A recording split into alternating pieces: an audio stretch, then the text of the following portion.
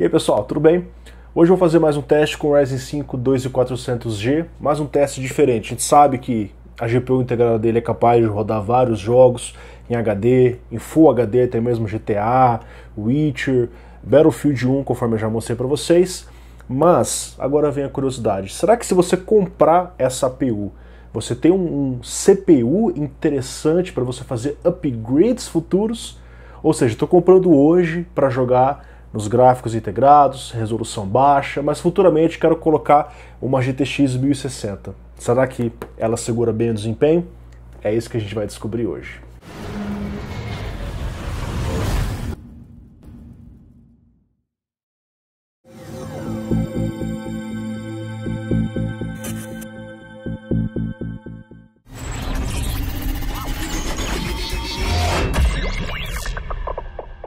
Estou aqui na área de trabalho, vocês estão vendo o Ryzen 5 2400G, está em estoque, não estou nem me preocupando em fazer o overclock aqui, placa MB350i, 16 GB de RAM Dual Chain 2400. Dá para você rodar com 8 GB sim, quando o sistema tem mais de 8 GB de memória, o próprio Battlefield 1 começa a alocar mais. Eu já fiz testes aqui no canal, diversos testes com apenas 8 GB, e ele aloca 7, 6,5 para não extrapolar a quantidade de memória. E agora, uma GPU dedicada, uma GTX 1100 de 6 GB, observa que por limitações do, do processador, ela trabalha apenas as X8 3.0 no máximo, tá? Aqui ela está em 1.1 porque está no desktop. Mas isso não deve prejudicar o desempenho dela. Depois eu vou fazer um comparativo mais detalhado nesse sentido. Então olha só, eu tenho um dos mapas mais pesados, sem dúvida nenhuma, aqui do Battlefield 1, que é o Amiens. Eu estou rodando então em Full HD no alto, dá para colocar no Ultra sem nenhum problema, mas eu quero ver a quantidade máxima de frames que a gente consegue, depois eu posso até colocar no Low para ver isso. Vamos lá então no, na bandeira C, que é o principal lugar aqui da, da guerra em Amiens, cara. É, e vocês estão vendo ali, a gente está rodando a 70 FPS, usando 100% da GPU e 80% de uso de CPU, cara. Como eu falei em, outro, em outros vídeos, o que eu recomendo como mínimo para você rodar Battlefield 1 multiplayer com tranquilidade é um CPU com 4 núcleos e 8 threads, ou 6 núcleos, como o caso do, do i50 e 400. Tá? E os CPUs de 4 núcleos e 8 threads, o i7, por exemplo, que é melhor que essa CPU, né? Ela, ele roda com folga. Observa que o uso de CPU está ali em 88%, não fica cravado nos 99%, 100% como CPUs mais simples. O próprio Ryzen 3 2200G, eu já mostrei para vocês, ele é fraco para rodar um multiplayer. Ele tem um, um gargalo no, no, no próprio processador. Nossa, cara, você não conseguiu me matar. Ele tem um gargalo no próprio processador, então você acaba tendo dificuldades. Mas aqui a gente está rodando tranquilo, cara. Sem spikes, sem problemas de frame time.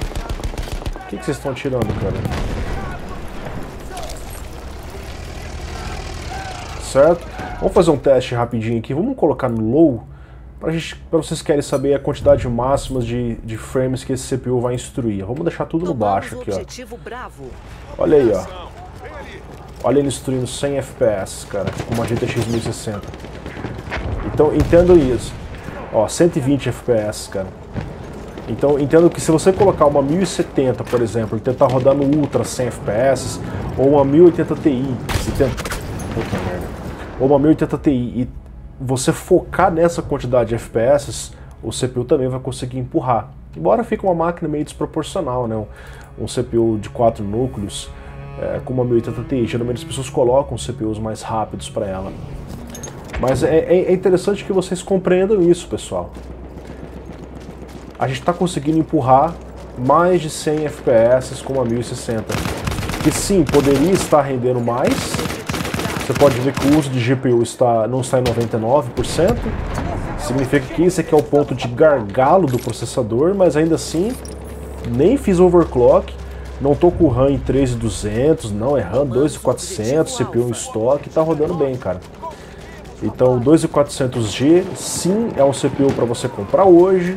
Ah, vou jogar no gráfico integrado, mas futuramente eu quero comprar uma GPU dedicada. Ele é bom para fazer isso. Muito bom mesmo aí com a limitação de rodar com a placa de vídeo apenas no 8x. O cara, o cara quase me matou ali, hein? Eu vou rodar mais um pouco aqui no mapa Ames, depois eu vou rodar num outro mapa para ver o que que rola. Será que eu acerto? Acerto nada.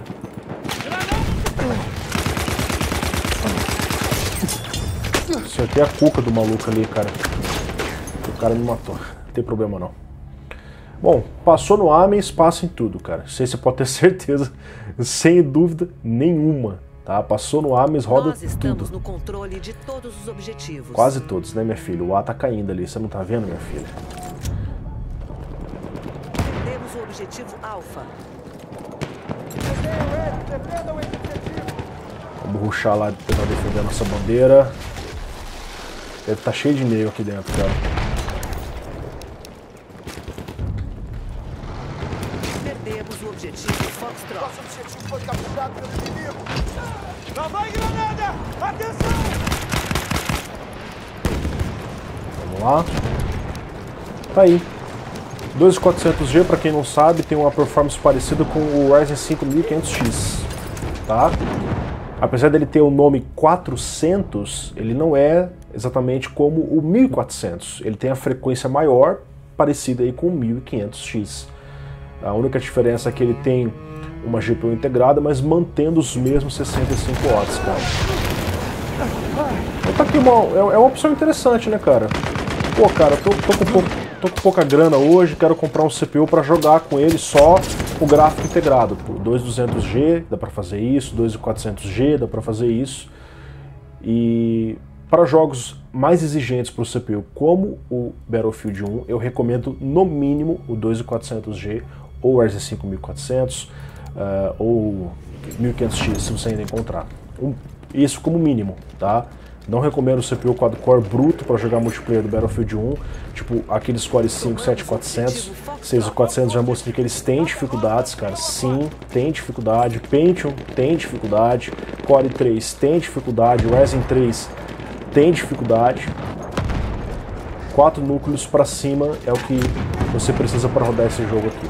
No multiplayer, claro, na campanha é mais tranquila. Beleza? Bom, acho que já ficou provado que é um, uma possibilidade interessante de fazer um upgrade. Uh, em vez de rodar um outro mapa, eu vou rodar um outro jogo, tá? Porque esse aqui já é o mapa mais pesado mesmo, os outros vão rodar sem nenhum problema. Bom pessoal, então Far Cry 5, um lançamento aí bem recente e Estou rodando aqui com o Ryzen 5 2400G, GTX 1060, vocês estão tendo algumas quedas de desempenho, vocês estão vendo, né? E não parece ser nem insuficiência do CPU, e sim algum problema de desempenho do jogo, que é lançamento, a gente está tá acostumado com isso, né? infelizmente, cara. É, eu imagino que em breve deve, deve melhorar bem esse desempenho. Você vê que cai para menos de 60, sem, sem motivo aparente, tá vendo? Certo? Olha aí mostrar aqui pra vocês, ó. Ó, tá rodando em Full HD, com a qualidade no alto e SMA, tá? O game roda no Ultra, eu vou até mostrar pra vocês, ó, tudo no máximo aqui, ó. Dá pra rodar assim, tá? A placa de vídeo tem capacidade de rodar assim, ó. Cerca de, de 66 FPS, mas tá tendo algumas quedas em alguns momentos ainda, embora não seja nada grave, né? Então, ó, você pode fazer as missões aqui, por exemplo.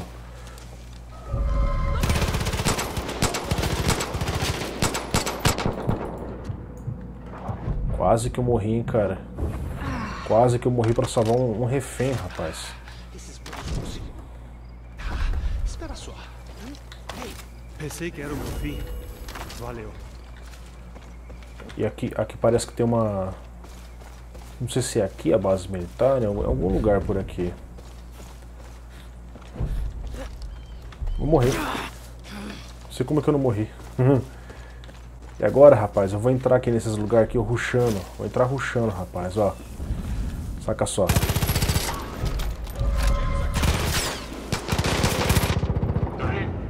Morri. Bom, esse é o teste mostrando para vocês que é possível, sim, você ter um, uma APU, uh, Ryzen 5 2400G, futuramente colocar uma 1060, uma 1070 e jogar aí com ela sem problema, fazer um upgrade apenas de placa de vídeo, mantendo o mesmo processador. Pessoal, um abraço a todos e até mais.